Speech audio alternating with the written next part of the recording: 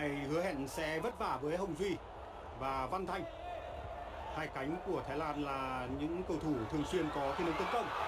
Khá tốt Hoan hô Nguyên Mạnh trong tình huống vừa rồi. Nguyên Mạnh đã phán đoán tốt và chủ động di chuyển sớm.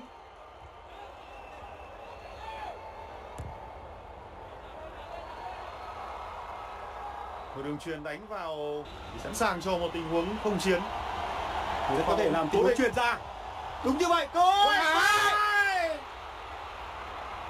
Tuyến hay. Văn Thành. Đó là một tình huống phối hợp rất bất ngờ của chúng ta. Quang Hải giả vờ buộc dây dày, không gây sự chú ý của các trung vệ đối phương.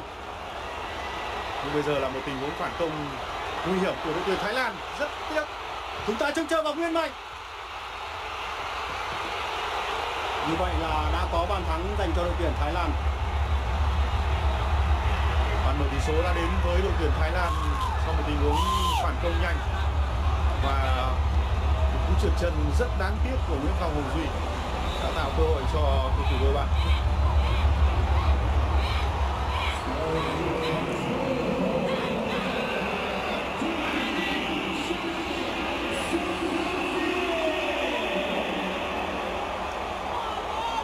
Đó là một cú trượt chân và đội tuyển Việt Nam của chúng ta thì không có một trận đấu nào trên sân vận quốc gia Singapore ở các trận đấu vòng bảng.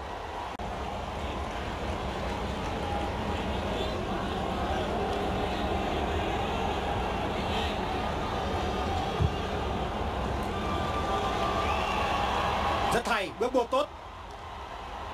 Một pha xử lý của Quang Hải. Những hành động của huấn luyện viên Park Hang-seo bên phía đội tuyển Việt Nam chúng ta. Đội tuyển Việt Nam của chúng ta vẫn đang có được một thế trận tương đối tốt.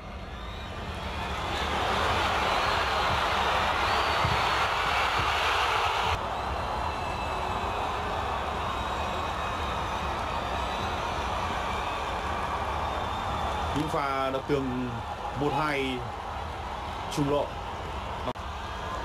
Nhưng Quang Hải, Quang Hải không vào. Bóng vừa chạm cột dọc.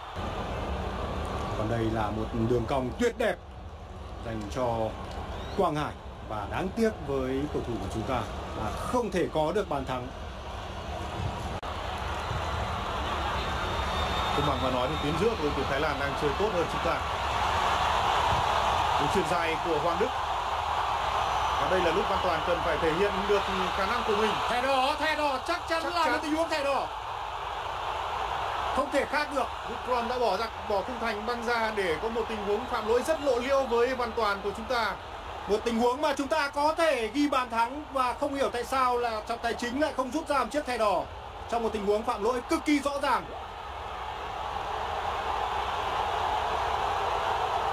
Một sự bất công, chắc chắn là như vậy.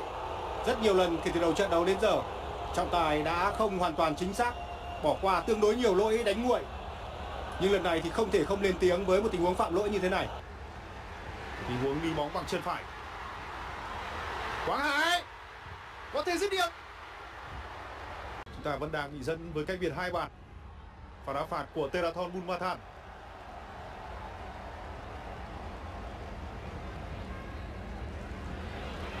Thidivan.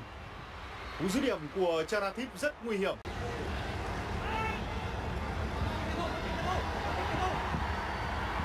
Rất tốt, cơ hội Hà Đức Trinh. Quang Hải không vào. Hôm nay là cơ hội. cơ hội. Nhưng không sao anh Dũng ạ, quá tam ba bận. Rất có thể tình huống sau. Quang Hải và đội tuyển Việt Nam sẽ có cơ hội ăn mừng. rất đáng khen cho Hà Đức Trình với nỗ lực cướp bóng từ chân cầu thủ đối phương để truyền trở lại cho Quang Hải. Quang Hải đã ở một vị trí rất trống trải, hoàn toàn thoải mái để tung ra cứ lòng sở trường vừa rồi. Quá đẹp.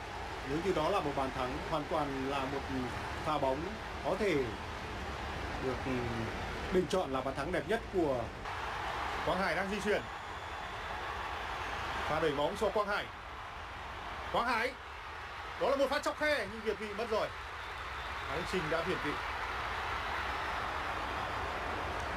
Hướng chuyền bóng quan sát rất tốt của Quang Hải. Manuel Bia và thủ thành bên phía Thái Lan vừa trao đổi với nhau một điều gì đó. Và đây là tình huống phối hợp tốt. Không hề việt vị. Chưa việt vị. Một tình huống chuyền bóng phải nói là cực tốt và đúng nhịp của Quang Hải đường chuyền hôm nay thiếu đi sự chính xác đặc biệt là trong một phần ba phần sân trước cầu môn của Thái Lan. Chúng ta có gì đó vẫn chưa thực sự ăn khớp và có phần vội vàng. Quang Hải, rất hay, cơ hội cơ hội không vào và phát xuống rất nhanh của Phan Văn Đức và đến từ đường truyền, phải nói là có độ chính xác hoàn hảo của Quang Hải. Bóng đi chệch cột dọc, có lẽ cũng chỉ trong một găng tay mà thôi. Quá đáng tiếc. Đúng là một màn so tài cực kỳ thú vị giữa hai cầu thủ được coi là đẳng cấp nhất của hai đội, Quang Hải và Chanathip Songkrasin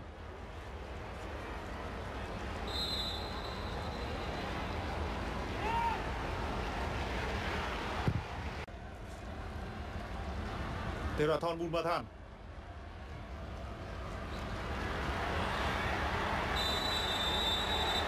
Trọng tài đã chỉ tay vào chấm phạt đền sau tình huống can thiệp của Duy Mạnh với cầu thủ của đội tuyển Thái Lan.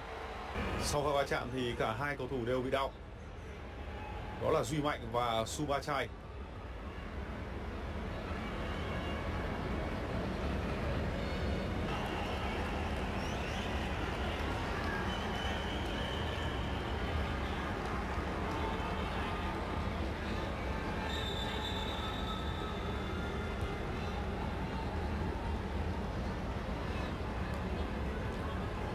Duy Mạnh đã ra phá không trúng bóng ở tình huống này.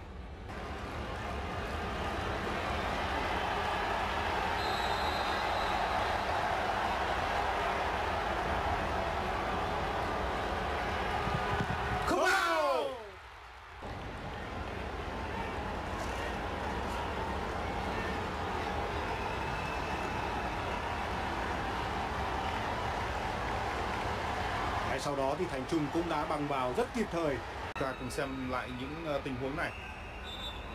Đây là pha bóng. Chắc chắn đây phải là một quả penalty. Đã có lỗi đẩy từ phía sau rất rõ của Cristiano với Quang Hải. Còn đây là tình huống chạm tay sau đó.